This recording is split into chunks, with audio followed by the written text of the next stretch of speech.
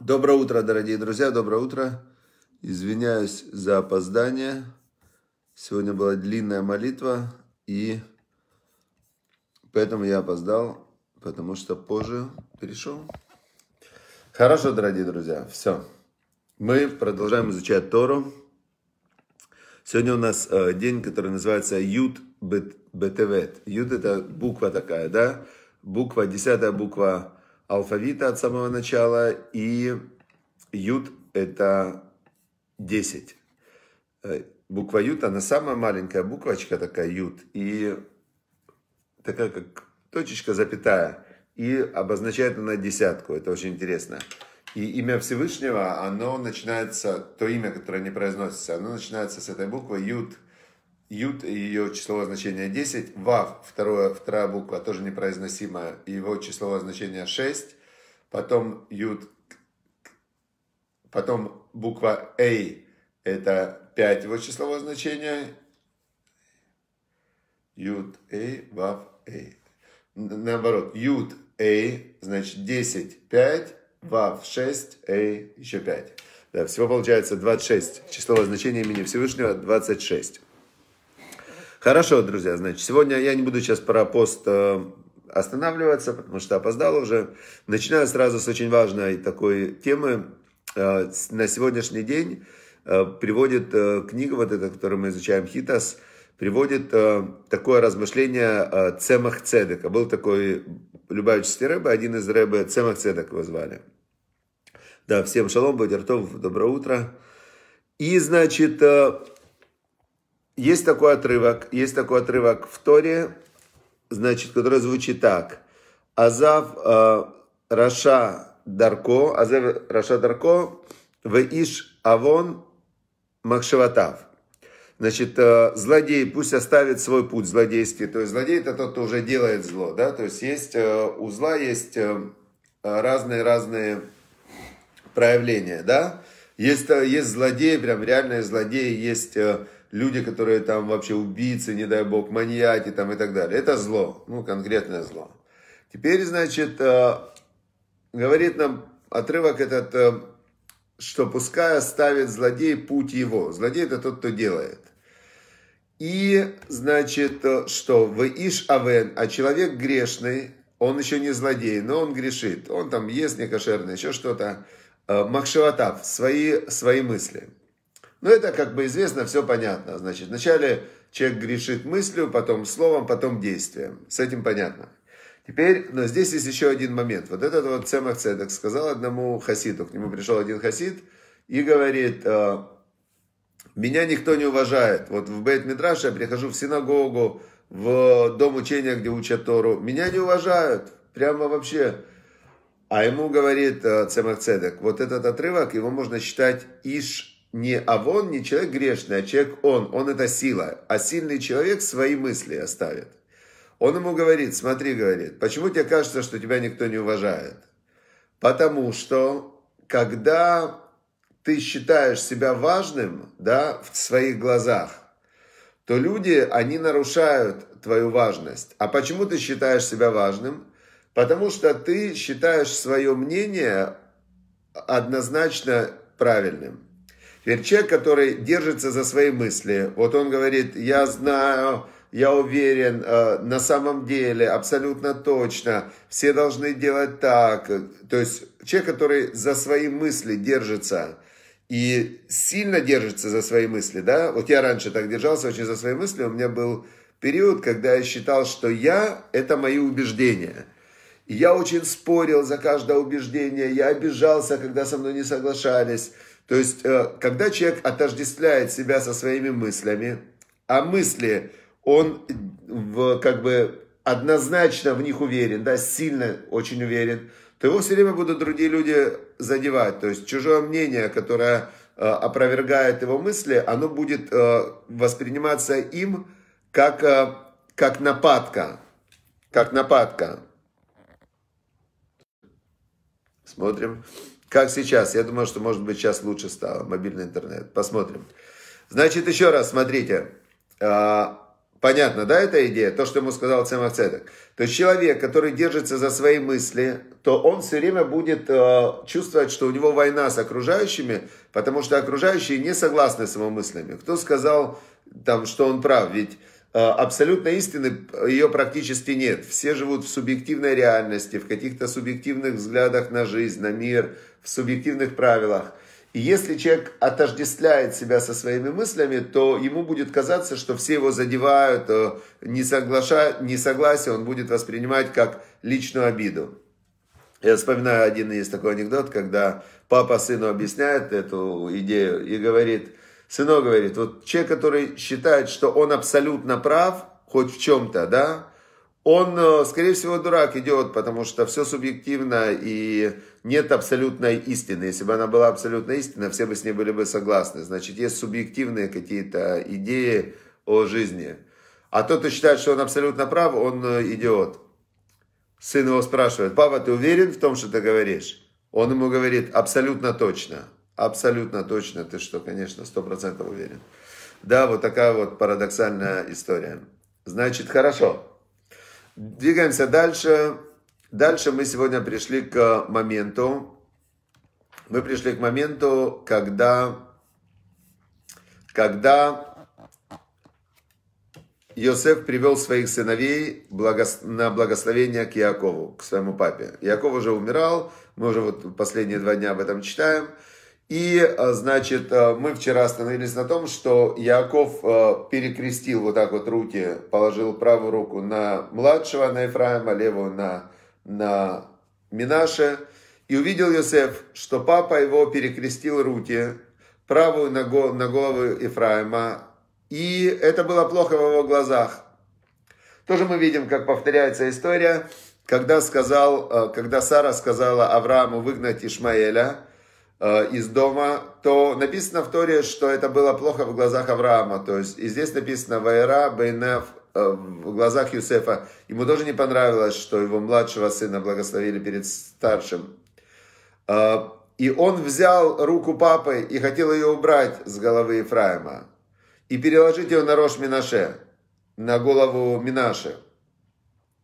И сказал Йосеф своему папе, не так папа он ему говорит, что вот этот первенец, да, Минаше первенец, и положи положи правую руку ему на голову. Он думал, что папа, может, не видел, а может быть, э, как-то перепутал. Ваймае Навив и отказался папа его, да, Яков отказался, и сказал, я дайте бни, я дайте. Он говорит, знаю я, сынок, знаю. То есть, э, ты что думаешь, я не знаю? Ты знаешь, тебе кажется, что вот так надо сделать, а я тебе говорю, знаю, я знаю, я сделаю по-другому. Значит, Гаму, вот это тоже, который первенец, да, Минаши, будет большим народом. И он очень много вырастет. Устная Тора нам объясняет, что от Минаши, из колена Минаши прошли, было пять царей из колена Минаши над еврейским народом. И э, были великие, там были великие в народе Израиля был э, Гидон такой, был Гидон, один из э, судей, Гидон был судья, а не царь, и он как-то спас весь еврейский народ. И говорит э, Яков, я знаю, что первенец Минаше тоже он будет великим народом. Вулам Ахив Акатан, но брат его младший Ифраим Игдаль Мимену, то есть он вырастет больше, чем он, Везарой ем лоагоем, и его потомство будет э, э, больше его, как бы больше от него будет народов, да, будет слава наполнится все племена. Что имел в виду, что имел в виду Яков? И тоже вот интересная вещь. Вот он видит перед собой двух сыновей Иосифа. Обычный человек, он как видит э, другого человека? Он его видит в, ну просто там, э, волосы у тебя какого-то цвета, а у тебя другого цвета, у тебя курточка там вот с пятнышком, а у тебя курточка без пятнышки. То есть обычный человек, он рассматривает другого человека очень внешне более внимательный человек, он всматривается в его более, э, как бы он его воспринимает, э, какая от него идет э, энергия, да, говорят, по одежке встречают, по уму провожают. Более внимательный человек, он э, подключается уже там к словам, к выражениям лица, к каким-то там э, энергетическим да, вещам. То есть это более внимательные. Теперь Яков, он видел его духовным взглядом, и он видел не просто его, он видел каждого из них, какой у него потенциал на поколение. То есть человек, это очень интересная такая мысль, это же не только он. Человек, он цепочка в звеньях, да, целые, целые поколения, целый род. Сейчас есть очень много систем, там э, всякие родовые системы, есть э, Хеллендера, э, родов, называется расстановки, семейные расстановки Хеллендера, да, когда там вот эти вот все семейные связи, они все каким-то образом достаются и учитываются. И вот Яков, он видел двух сыновей Иосифа именно в, в, во времени. И он говорит, вот из этого, из младшего, из Ефраима, выйдет кто? Йошуа бен Нун. Йошуа бен Нун это ученик Машера Бейну, который после Машера Бейну, после Моисея, он стал главой еврейского народа. Именно он завел еврейский народ в землю Израиля. И для него Всевышний делал чудеса, и Йошуа бен Нун был невероятно влияющий на мир, на все мироздание личностью. И поэтому сказал Яков, когда их увидел, он увидел, что именно из Ефраима пойдет Иешуа Бенун, и он сказал, что я благословляю Ефраима больше. Представляете? Теперь дальше. Вайвархем Байомау, говоря, и благословил он их в этот день, говоря, Быха и Варех Исраэль. Он сказал, в тебе значит, будет благословляться, тобой будет благословляться Израиль. Именно вот из этого, представляете, два слова в Торе. Бых, три. Быха и Варех Израиль. В тебе благословится Израиль. Он сказал Ифраиму. И что? И дальше он произносит то благословение, которое каждую пятницу все еврейские религиозные мужчины благословляют своих сыновей. Он сказал так. Я симха Элоим ке Минаше. Он сказал, вот так будут говорить всегда. И поставит тебя Бог всесильный, как Ефраима и как Минаше. Ваясем эт Ефраим лифне Минаше. И поставил он Ефраима перед Минаше. Вот тут интересно, э, тут еще очень интересная такая вещь, что вот этими словами, когда он это все произнес, Яков, а, он установил реальность, что она стала именно так, что он передал благословение, которое у него было, вот это главное благословение, которое он получил от отца, от Ицхака, он это благословение передал вначале Йосефу и передал его сыновьям Йосефа. То есть он сделал Йосефа, он сделал первенцем и передал материальное благословение сыновьям Йосефа. И это очень интересно, что, что Значит, э, потом, когда разделился Израиль на два царства, Израиль и Иуда, Иуда было очень бедное царство, а Израиль, которое было 10 колен, там было очень богатое царство. Им правили цари из рода Юсефа. То есть вот это материальное благословение Яаков передал, передал э, сыновьям Юсефа, которое он получил от отца, от Ицхака, которое он забрал, можно сказать, у Исава, благословение на деньги и на власть. А благословение, которое было у него, благословение духовное, да, он передал сыновьям Леи. Получилось, что Иуда стал царем Машехом, и храм стоял в Иерусалиме, это было где Иуда. А интересно, и колено Леви. Колено Леви стало коленом священников, э, которые служили в храме. То есть вот так разделилось духовное и материальное благословение, оно пошло по разным каналам. И интересно, что потом, э, когда ушли в первое знание, такое большое в Вавилон, то, то потом из Вавилона пошли евреи, вот Сфарадим, то, что называется, они называют себя Бет Юсеф. Они называют себя Бет Юсеф, э, дом Юсефа. Называют себя Сфарадим, Бет Юсеф. И, значит, э, есть мир Ешив. Мир Ешив, где учатся, где это, ну, в основном Аштиназим, литовские евреи, они э, полностью посвятили себя только Торе, только духовной работе. И получается, что это вот как раз с тех пор передается вот это чуть-чуть разные каналы, да, более, более материальные, это Сварадим, они более такие при, привязаны к материальному миру. И э, Аштиназим, мир Ешив, они полностью как целый день учат Тору, и они пошли в духовный мир. А хасиды, они соединяют вот эту вот высшую духовность, которая прям самая большая, и материальность. И они вместе это соединили, это хасиды. Теперь, значит, и сказал Израиль Юсефу после этого. И на Анахимет, он говорит, все, я, говорит, умираю, я умираю. Вая Элоим имахем, и будет Бог всесильный с вами. Вейшиветхем элерет савасейхем. И Бог вас вернет, он ему говорит, Йосефу, в землю ваших отцов. Вани нададите леха шхем эхат, аль ахеха. И я тебе даю шхем, это доля, и Шхем это тот город, в который, который э, захватил Яков и его сыновья после того, как забрали, изнасиловали Диму, Дину, то это город, который вырезали тогда сыновья Иосифа, Шимон и Леви. И он говорит Иосифу, я тебе даю Шхем. Шхем переводится и доля, и название города. Аляхеха, больше, чем твоим братьям, который забрал я из рук Эмури, Бехарби, Убекашти, своим э, мечом и своим, своим э, луком. И здесь тоже мы видим, насколько, насколько Тора, письменная Тора, она является неким таким кодом, из которого разворачивается новая реальность, такая духовная реальность.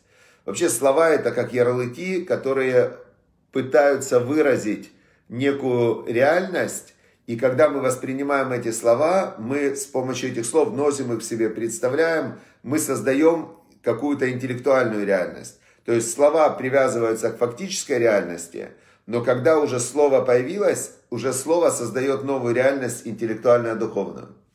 И, значит, вот эта вот фраза, что я забрал мечом и луком, так она очень сильно здесь, э, на эту фразу очень много есть э, комментариев и так далее. Но здесь интересно, знаете что? Мечом и луком, э, значит, это его мудрость его молитва, говорит Раши. Значит, э, меч и лук. Мудрость и молитва. Значит, мудрость и молитва. Что из них мудрость, что молитва, как вы думаете? Меч – это мудрость, говорит устная Тора, а молитва – это как лук. Почему? Мудрость ты должен сразу решить, что делать. В каждой ситуации человек действует, исходя из своей мудрости – он своей мудростью в, принимает решения, он своей мудростью пытается понять, что с ним происходит. Причем мудрость, она очень ограниченно влияет на реальность. Почему? Мы видим здесь, вот в, в этой главе, которую последние два дня мы читаем, первый, первое, что мы увидели, Яков говорит Юсефу, я даже увидеть тебя не надеялся. 22 года я думал, что ты мертвый, а оказывается ты живой, и я даже внуков своих вижу, твоих детей. Теперь Иосиф приводит благословлять детей. Он уверен, что первенец это Минаше, а Ефраим младший сын, а Яков берет и благословляет их в, в другом порядке. То есть мы видим, что мудрость, на которую человек пытается полагаться, она его часто подводит. Она, ну, то есть ты вроде все понимаешь, а вообще все идет не так, как ты понимаешь. А вот молитва, она как лук. Молитва, она стреляет, лук же стреляет далеко, мудрость это рядом. То есть ты вот тут вот меч, он рядом воюет. А стрела, она стреляет далеко. И вот человек молится. Он молится, он говорит, я не знаю, как я получу э, это, я не знаю, как я там заработаю деньги. Как Яков, когда убегал от Исава, Исав хотел его убить, и он перешел реку, и есть вот этот псалом, который передает его слова в этот момент. Он говорит, Яков, Шира Малот, песня восхождения. Исайна или Арим, подниму глаза я к э, горам. Да, Ман его Изри, откуда придет мне спасение? А, есть еще переводят, что Изри это не только спасение, а и жена. Он говорит, тут у меня жена появится, у меня нет ничего, ни работы, ни дома, ничего у меня нет. И он себе же отвечает, Изри ми им Ашем, Значит, помощь мне придет от Бога. Осе шамаем варец. Бог, который сделал небеса и землю, так он уже и придумает, как сделать мне помощь. И получается, что вот этот вот молитва, это как лук. Оно далеко стреляет, и ты не знаешь, как оно попадет. Но молитва, она как раз, э, опять же, и он забрал мудрость. То есть мудрость важна, но и молитва но она, она работает так, как мы не знаем, как она работает.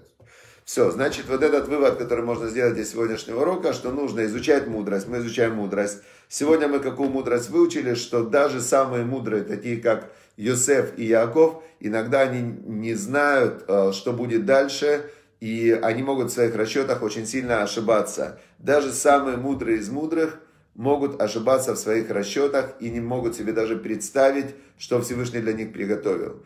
Теперь, а, но самый простой человек, он может молиться Всевышнему о чуде, и Всевышнему чудо пришлет. Все, всем удачи, успехов, хорошего дня, кто постится легкого поста. Значит, можете скачать книжечку по ссылке, послушать уроки других лекторов. Сегодня много есть уроков про 10 это. Я поэтому не буду про это рассказывать. Значит, всем удачи, успехов, хорошего дня, благословения. И чтобы Всевышний, есть такое благословение очень хорошее, чтобы Бог и мале коль мишелот либеха, чтобы Бог выполнил, наполнил все запросы твоего сердца, то есть молитва это как запрос сердца, летова теха, для твоего добра. Все. Всем удачи, успехов, чтобы молитвы исполнились для добра.